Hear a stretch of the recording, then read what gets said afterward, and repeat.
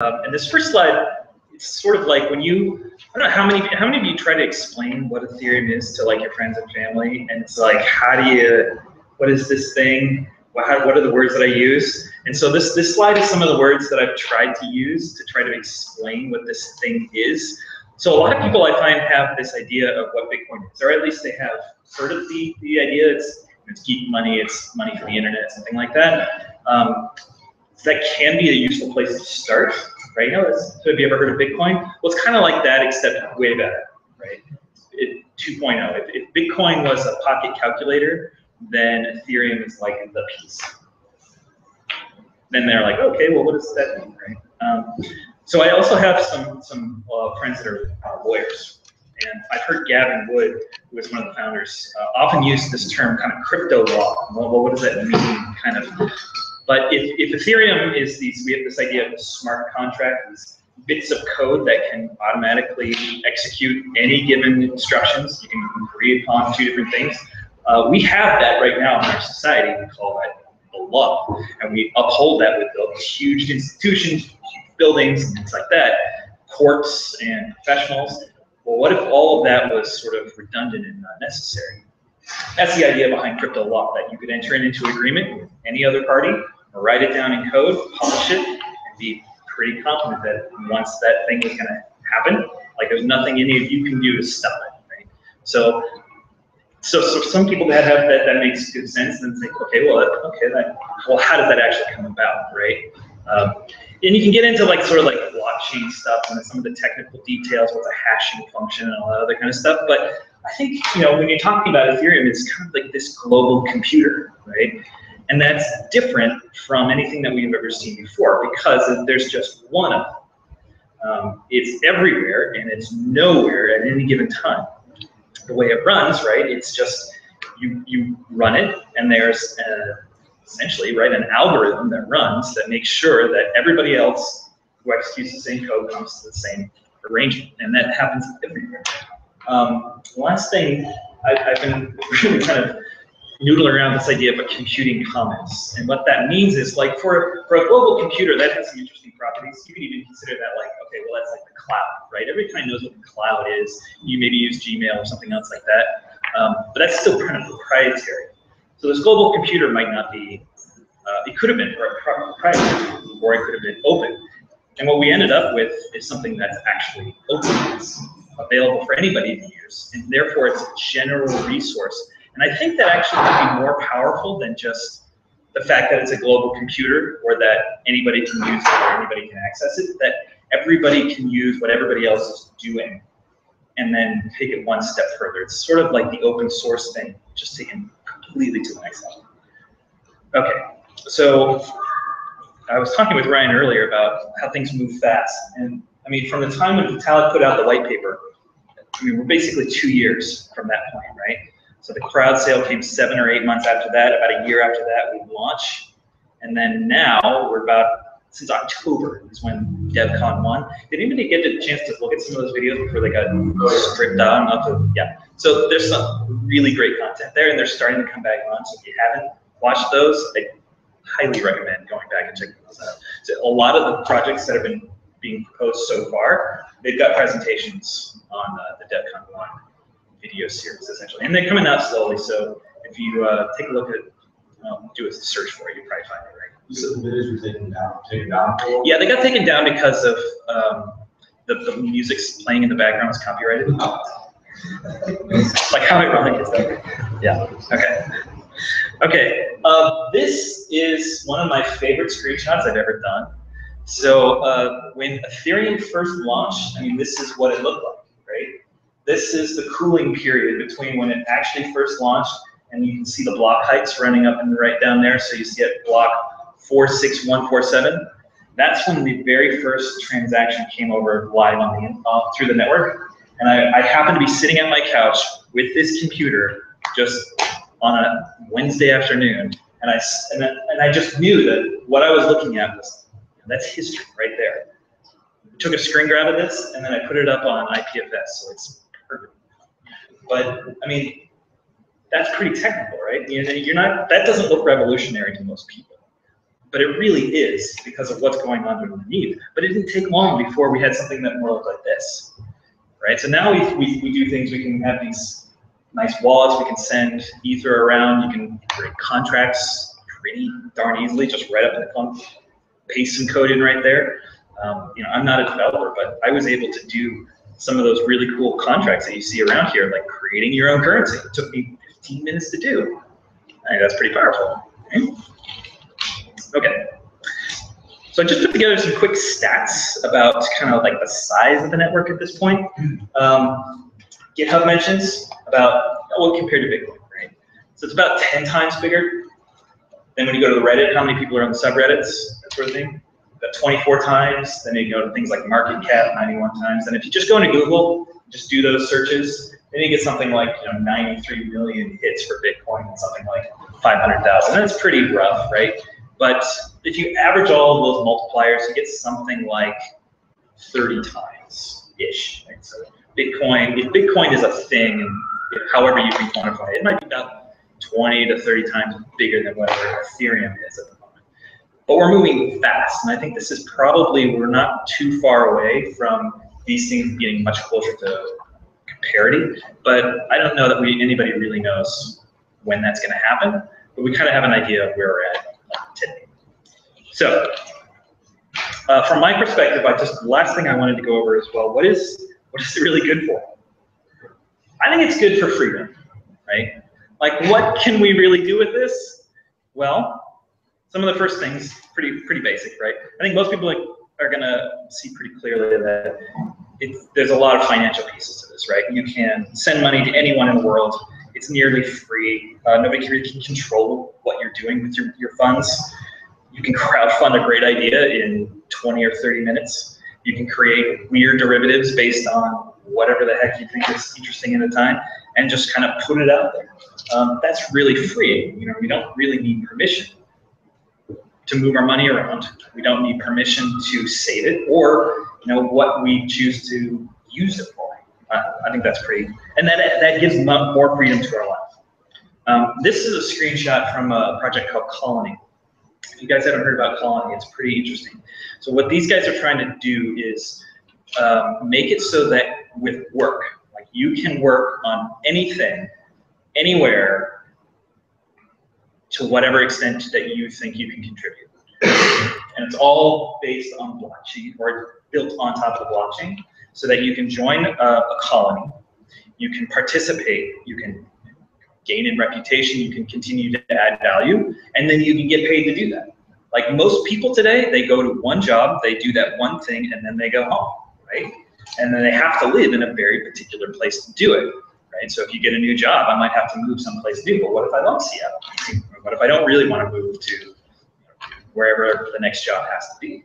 Maybe I could just figure out one thing that I'm good at and do that thing for lots of different things that are interesting and get like paid real money to do it.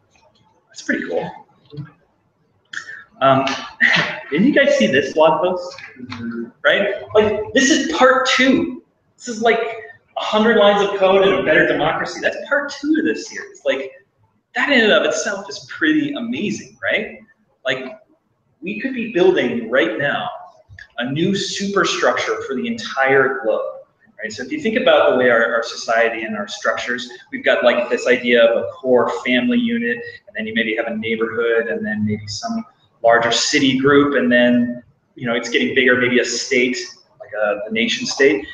What comes after the nation state, right? These tools that are being built today can add another layer of governance, but it's not a top-down governance, right? it's a peer-to-peer model where we can organize ourselves. We can do the things that benefit each other and not you know, centralized power organizations. Where this ends up, I don't know, but 100 lines of code for a better democracy, that's pretty, that's pretty awesome. In fact, a, a quick story, Griff and I were just slacking one night, and he's like, hey, uh, I'm gonna, I'm gonna see if I can actually make this work. And it really was, it was like an hour dorking around on our laptops for two guys who don't know how to code, and we came up with a token and a proposal. Eventually, we got it passed, but Yeah. right, Took a little bit. yeah, it's, it's pretty amazing. So where are we headed next? go to the moon. Uh, so that's my talk. It's pretty short. And what I'm really excited actually now is to introduce Ryan. Um, and Ryan is a developer for Maker Project, uh, currently based in Portland, Oregon, right? So Ryan, uh, why don't you come up and give us an idea about what Maker is and what you've been doing there.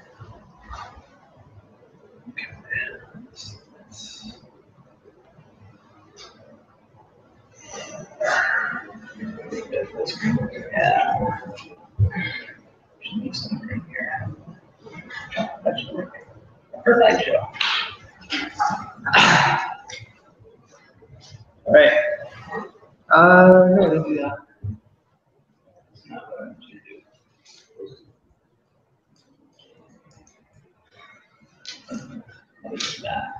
Okay.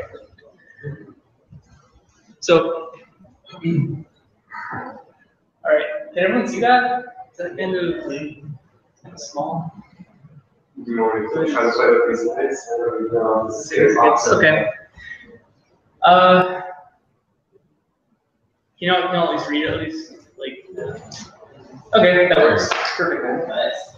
Okay, so my name is Ryan Casey. I'm technically developer with Nexus, and our biggest project at the moment, or one of our bigger projects anyway, is uh, Maker. And I'm pretty excited about Maker. I actually bought MakerCoin before I started working on the project, and just kind of happened to get a get I guess brought on. So I'm here to talk about that today. Uh, first, to start with the summary, MakerCoin Maker is basically just a cryptocurrency leverage platform and stablecoin we call DAI, and it of course runs on Ethereum. There are three primary parts to Maker. First is our decentralized governance model. Second is Keeper. And third is the most complex piece, in my opinion, the collateralized debt position engine. I'll be going through these in sequence. So first of all, our decentralized governance model is pretty standard for this space. We have a governance token called MakerCoin. MakerCoin allows MakerCoin holders to vote on proposals, make decisions about what Maker does, and votes are weighted by hundred holdings so that what Maker does what is in alignment with uh, the investment. So people who have a, a best uh, stake, high stake in the future of Maker get to have a greater voice in what Maker does. But there's some risk that comes with this. Holdings get diluted during debt crises, and I will get into that in more detail later on. And with that risk comes some reward. Every week, eventually, once this is all liquid and running, we'll have uh, buying burns where Maker will take money out of its profit reserves and buy back Maker coin from holders who want to sell, and then that Maker coin will be earned, which will reduce the overall supply and drive up the value of Maker coin for people who decide to continue holding. And then we've been distributing MakerCoin via crowd sale. We've sold a couple batches on forums already, and payments to Dynasty, are basically just people and groups that we hire to do work for Maker. And our com channels for discussing proposals uh, is our forum at makerdao.com. We have a Slack also at makerdao.slack.com. And every week on TeamSpeak, we have calls for MakerCoin holders. All right, so that's the first piece. The second piece is Keeper. Keeper is, at present, just a Docker image that contains a bunch of services. Uh, at present, not actually many services. This is Ethereum? This is Ethereum, yeah.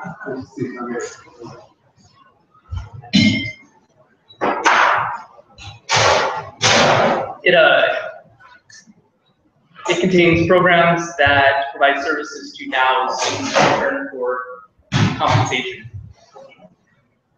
So eventually we want to put this on Raspberry Pi and sell it to make it really easy for people to start providing services to DAOs like Maker. Uh, but for just a Docker.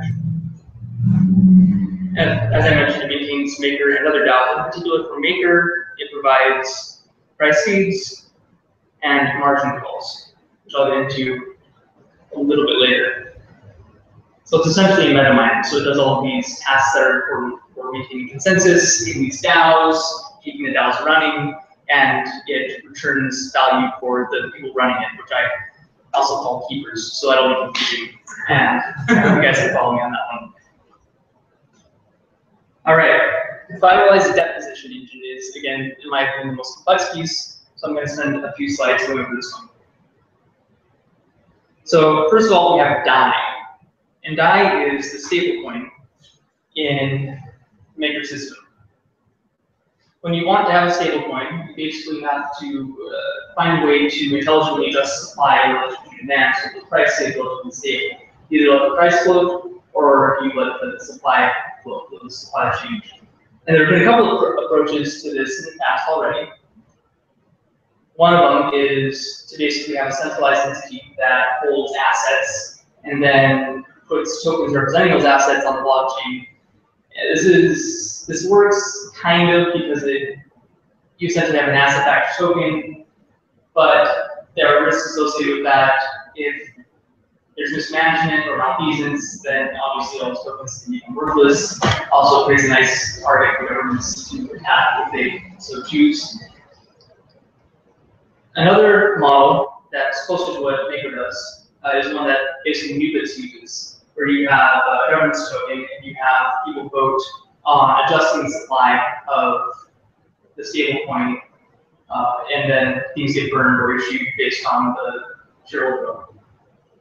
So Maker tries to take that model and essentially distribute it. So there's not, it's not just a handful of, in this case, it would be Maker coin holders voting on issuance or burning. There's actually a mechanism that incentivizes anonymous, untrusted distributed actors to create and destroy DAI in relation to demand so that the peg stays where it should be, which is pegged to the SDR, the International Monetary Fund's special drawing rights.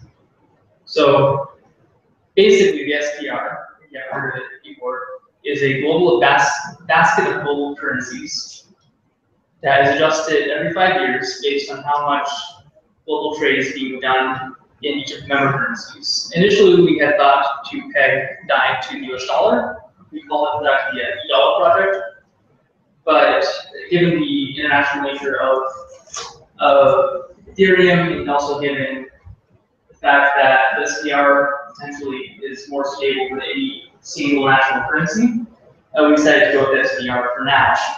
If the SDR becomes unstable, we could potentially decide to pay to say a basket of currencies. But the SDRs that we're paying, this is what this presentation be about. And this peg is supported by collateralized debt positions. So collateralized debt positions are essentially smart contracts on the blockchain that lock up a certain amount of cryptocurrency and give a lesser amount of DAI out. So you put in 150% or more in DAI value in some cryptocurrency, you get out 100%. So I put in 150 DAI worth of Bitcoin, I get out 100 DAI. And then if I put back the initial 100 DAI, I get back my collateral from that collateralized debt position. This is how DAI is issued and burned. When I open up a collateralized debt position, I literally create that DAI. And when I put DAI back into the collateralized debt position, to get back my collateral, that destroys that DAI.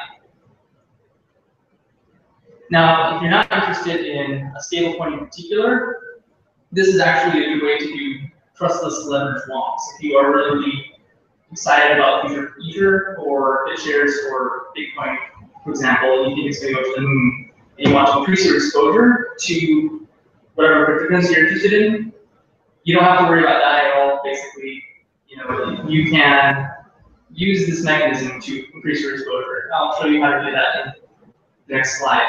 There is a 2% APR. So if I open up a collateralized debt position that gives me 100 DAI, and I leave it open for a year, I have to provide 102 DAI to close that position and get my collateral back. The really interesting thing that makes this all work is that other people can close my collateralized debt position as well. But from 125% collateralization on up, there's a penalty for them doing that. They have to pay a premium on the underlying collateral, and any collateral left over after they close out my position goes back to me. From 125% to 100% collateralization, there's a discount with peak in profit at 120%, which is illustrated in this chart. This chart comes from the white paper, so you can't read it right now, it's tiny on that whiteboard there. Um, you know, look it up later. I'm gonna link at the end of the presentation. But you can see this green wedge here is uh, profitability from 125% on up. You see, well, you can't actually see this, but at around 150%, uh, there's a 5% premium you have to pay. So if I were to close out that collateralized debt position, I would get 95% of the underlying collateral, and the remaining 5% would go back to the the difference. And then from 125% to 100%, we have where I can make my profit, which speak at 120%. So at 120% collateralization, I can just close out the collateralized debt position and take all of the underlying collateral. So concretely, let's say we have a user named Fu, who's really excited about Bitcoin and wants to go long. Fu puts in 150 DAIs worth of Bitcoin and gets out 100 DAI. And then Fu turns around and sells that DAI for more Bitcoin. This leaves Fu with 250 DAIs worth of to Bitcoin, backed by 150 DAIs worth of actual Bitcoin. So this is essentially a leverage long for Fu. Now there are a couple of ways that this can go for Fu. First of all, Bitcoin goes to the moon, let's say.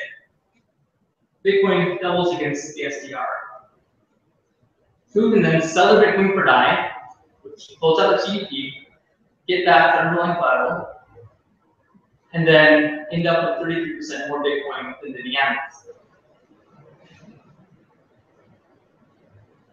They also could have increased their exposure if they wanted to. They could have opened up more collateralized positions. They chose to do that, would increased their exposure. They could have also reduced their exposure by collateralizing their debt position at a higher rate. So at 175% collateralization instead of 100% collateralization, uh, they would have had less leverage. Of course, trades can go the other way too. If Bitcoin declines by 20% against the SDR, then, well, let's say we have another called bar,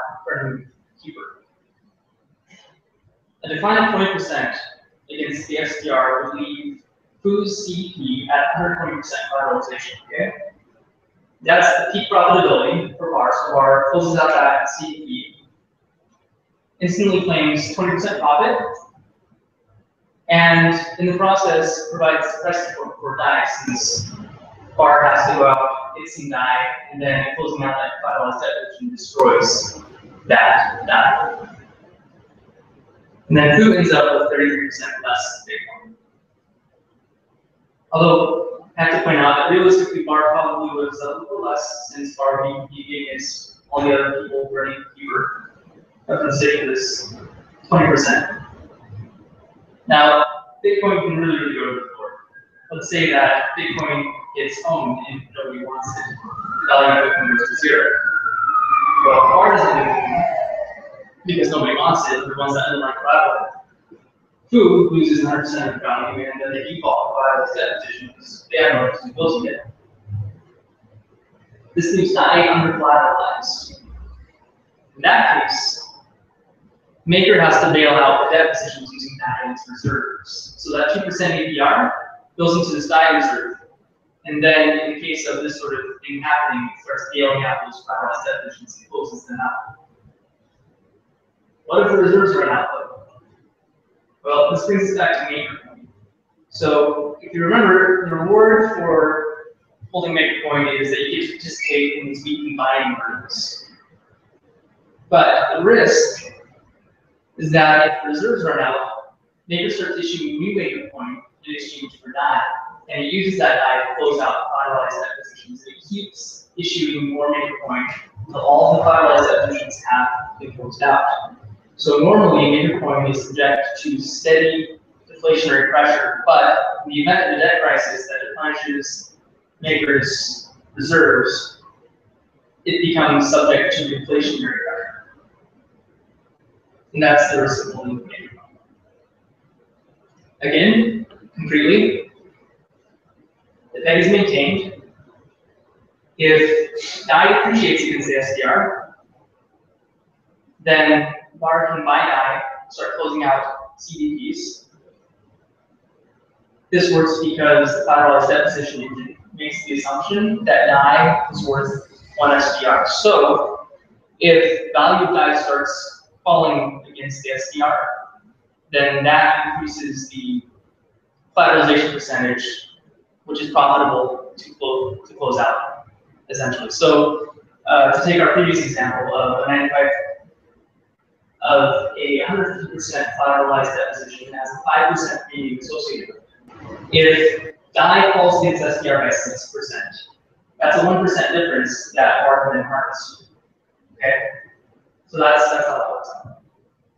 And of course, buying DAI and closing out CDPs reduces the supply of DAI and increases demand, which drives it back up to the peg. Now, if DAI appreciates against the SDR, well, bar can either sell DAI and buy back lower when the peg resumes, or bar can sell DAI and issue more. Either one will increase the circulating supply and drive the price back down toward the value of the SDR. Now, you might have picked up that the tightness of that peg is entirely dependent on the tightness of the margins that keepers are willing to accept. And while we're going to try and make it as easy as possible, Civic as a keeper by pushing out Raspberry Pis and Docker images, uh, there are still probably some things that people will be able to do, will eventually do, to get themselves an advantage over other people running Keeper. A couple of things off the top of my head from the other day. First of all, obviously watching the ratio of DAI value, DAI value to SDR value. If that big breaks, there's probably a profit to be made somewhere fixing it. Uh, CDP collateralization percentages in terms of DAI, just as I mentioned earlier, because the CDP engine assumes that one DAI is worth one SDR, a falling, a falling DAI price increases the collateralization percentage that's profitable. And then the ratios of trading currency values to SDR, some arbitrage, paths that potentially take advantage of. Ratio of reserve to outstanding debt. This is an indicator for the existential risk of make a maker, basically uh, how well a maker can weather a debt crisis before it has to start inflating maker coin. And then finally also the volatility of debt. So Maker has very, very high collateralization percentage requirements, but it's still possible to get more than So if I claim 120% and then the collateral is like point or something, that variable, that value variable evaporate before I have a chance to convert that to my preferred crypto. So keeping that in mind can also be. So recap, maker holders govern maker based on their holdings. They also assume risk this debt crisis, indirectly they assume it. And they also the reward being able to participate by inference. Keepers maintain DAOs, like they for fund profit, with each other to provide that services, to best provide services for DAOs and profit from that. And then the finalized acquisition engine helps maintain that by aligning incentives among economists, distributed actors to drive value of DAI back and forth. The website for Maker is makerdao.com. That's where you can access the forums. You can also access paper. We also have some up at github.com slash makerdao. Nexus is up at nexusdev.us. Our code is at github.com slash nexus development. We have some Ethereum development tools that are fun that I'm working on in particular. And I myself am available as ryepdx on literally every service I'm signed up for, including Twitter. So if anyone has any questions after the meetup, uh, feel free to tweet at me and I will try and answer those. Uh, as of now, I have no questions. If there aren't people lights that come back up. Yeah. And I'm not sure if the, can you, so, can you repeat your question? So, the question that's asked and repeated, just make sure. Sure, for sure. Um, Hi. Hi. uh, I have two questions. Sure.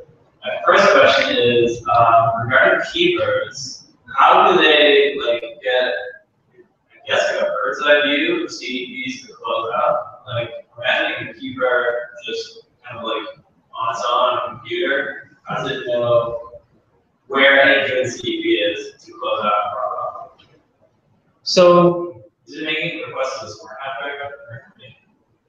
Uh, there will be a smart contract that makes requests to you. So it's, is it that like paying for information? Sorry, I'm supposed to repeat the question. Uh, uh, sorry, the, the question was, uh, the question was, how does Keeper find out about, uh, collateralized debt positions that it can close out? Yeah. Yeah, and it's basically just watching the blockchain and, uh, interfacing with the smart contract that you use to open up collateralized debt positions. Okay. Yeah. So you can watch the blockchain without having to actually like. Yeah, you- make the request for computation. Yes, you can watch the blockchain for free, get data off of it without having to, to anything on the blockchain. And then my other question was, um, is the CDP something that can be transferred since there's like a benefit in owning it, so you don't have to close it out for a premium? So, uh, we don't plan on having any sort of functionality native, but you could probably figure out a workaround.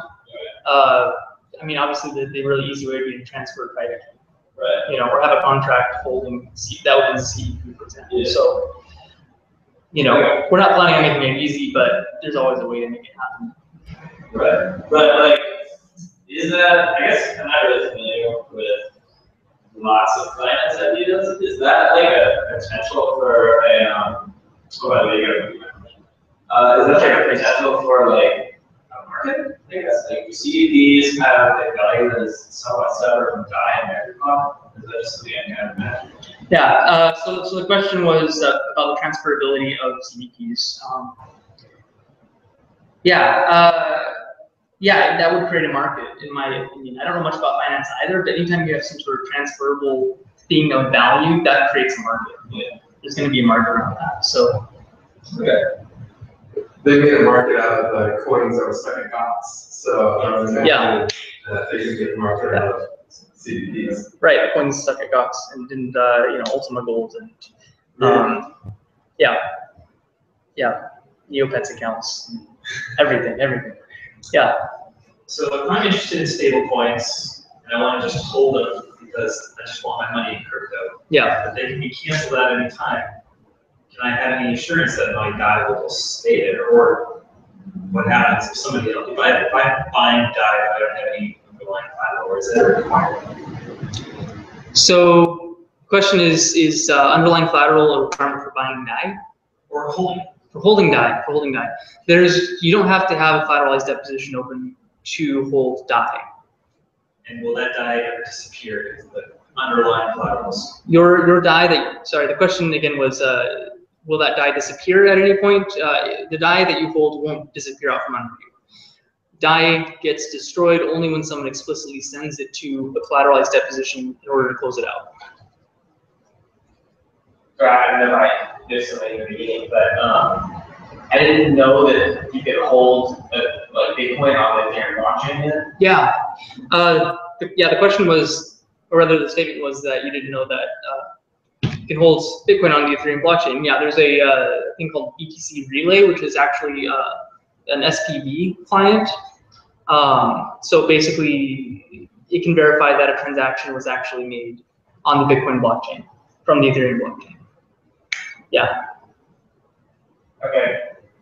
that was It's not live yet, but they were- yeah. Well, for the contract, if you're, you know, essentially getting more Bitcoin that was initially maybe put into the contract, I guess, where's that coming from? How does that, is that, I guess I'm a little confused there, like, how you're able to, if I'm trying, I know I'm making it wrong somewhere. Sorry. But, um, getting more Bitcoin essentially that was actually put in through the, uh, Oh, um, are you asking about the uh, the premium, the premium and the, the discount?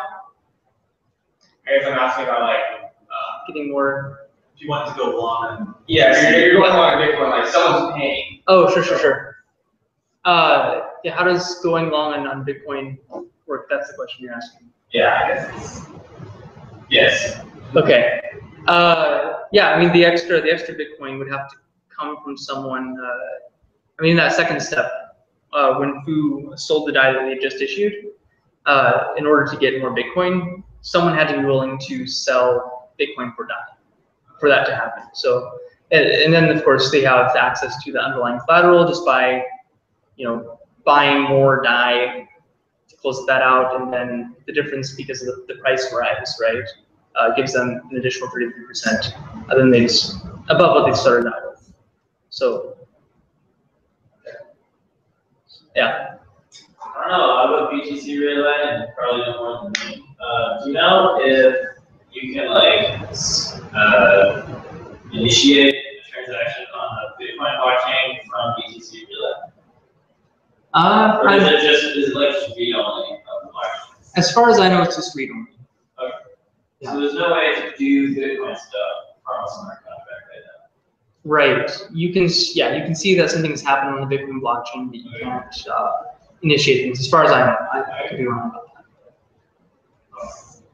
I don't know much about the BTC relay one, but they're working on a Doge.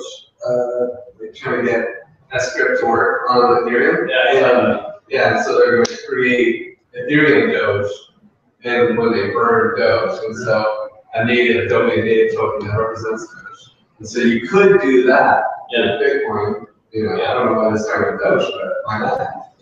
That's, the will, the will's there, I A guess. Doge client in Ethereum contract. That's cool, that's what we need. Be cool. I don't know. So with, uh, with these contracts, are these tokens, the maker token and the DAO token, when you send that, you're gonna need to pay gas and their Ethereum tokens? Yeah, they're Ethereum tokens. You'll have to pay gas to do transactions. Is there any exchange that people would be able to use off, like kind of, kind of like how with Cryptsy or why I say Cryptsy, but the BTC or any of these other exchanges, you kind of have off, uh, off blockchain transactions. Could you do that with a DAI or Ether tokens? Uh, so, so the question, as I understand, as I understood it, was uh, will there be an off-blockchain market for DAI? Uh, there, yeah, there will be an off time, an off-chain market for DAIs. I imagine if the, if the exchanges will have us, uh, it'll implement the token. Uh, we'll implement the token standards. So anywhere you can use a token, you'll be able to use DAI. Uh, you could potentially pay gas costs and DAI with this actual with this coming up uh, abstraction of Serenity, right? Because with Serenity, you can potentially then pay whatever token you want uh, for, for execution. So, yeah.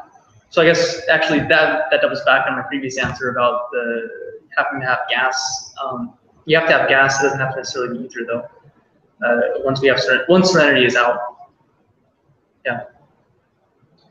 I might have missed something, but so you work for Nexus, but that's not connected to Maker? It's You're it's building something on top of Maker, and that's the line?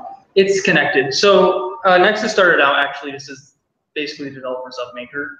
Uh, and then we sort of spun off uh, so we could pursue other things and bring in uh, additional capital essentially. And um, that's uh, that's roughly what happened. So we started as as Maker, we spawned like Okay, so Yeah. the DAI is um, a part of Maker, like the Yes. that, that's all the one thing. Yeah. The reason why you separated was so you could develop it more.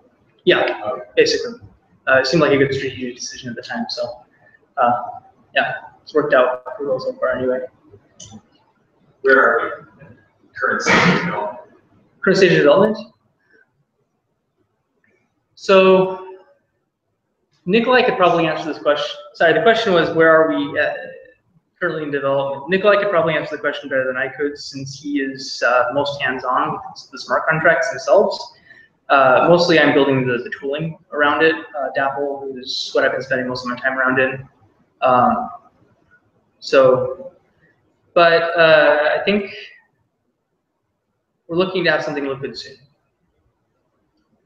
you know, the full blown thing isn't going to be soon, I think, but I don't know. It's I can't answer that question very well, to be honest. Uh, I know that we're, we're close to having liquidity at least of, of MakerCoin, so yeah, that's about it as far as I know.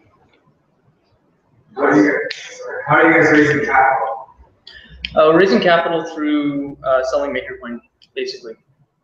So we've uh, what was it?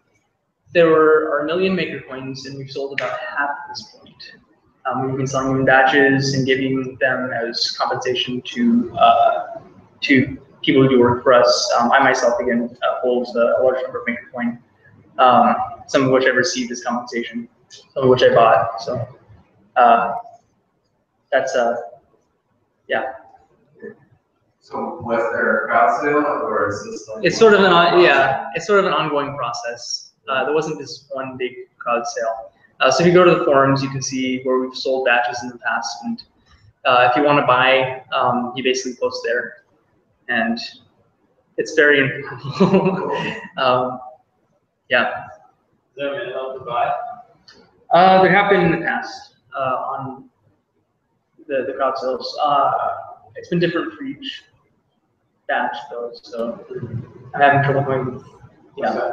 What's the value that they're running these days? Like, uh, if I wanted to buy some, it's gotta have like arbitrary values. Yeah. Uh, So uh, the value that we decided to go with is uh, three dollars per coin, Three US dollars. three U.S. dollars. Yep, that's what I bought in at. Okay. Get compensated as. Right. Yep, sticking with it. yeah.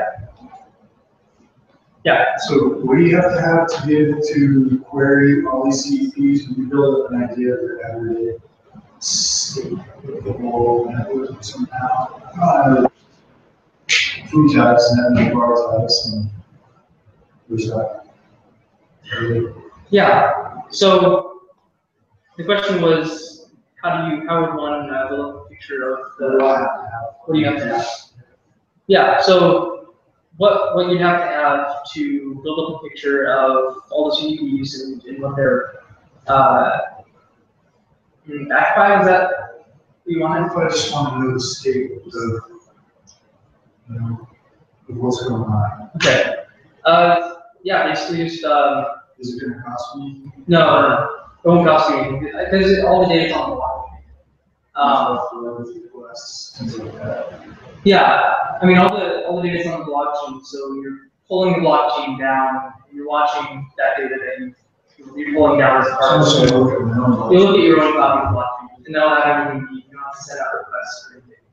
Um, all the data is there. Uh, when you, yeah, when you're, when you're develop, I guess maybe that's, when you're developing, uh, smart, or DAOs, I guess, or dApps, um, I mean, you do have to query Ethereum, but it's, it's all, I mean, it's a, Geth or something, right? Uh, Ethereum client, but when you do that, it's just looking at its own local database. Uh, it's not going out and asking for stuff. Maybe I understand. Okay, sorry. It's pretty murky, but Third time. All right. Well, There you are. uh, yeah, we have plenty of time, about forty-five minutes left of the room, and I, I did bring some snacks and stuff, so if you guys wanna just kind of mill around and talk. Uh, I did have one thing on the state before we kind of close up. So, um, I also own some, some Bitcoin in the Holland community, and I was actually able to arrange for everybody here to show up tonight and have one Bitcoin. Now, you are all got one Bitcoin, which is pretty about Um, But what I need from you in order to claim that is an Ethereum address. So if there, anyone here doesn't have an Ethereum address, uh, we can easily set that up. We can kind of go through, you know, Dell computers here, you probably have to do something, right? Uh, otherwise, you can email me your public address, and I can see to it that it's one maker. And if you follow the project, you can see how it's going, and you can participate in tournaments if you want to. Um, like uh, Ryan said right here, uh, you can go to the website and, and take a look at everything else that's, that's going on. So very much for coming. Good night.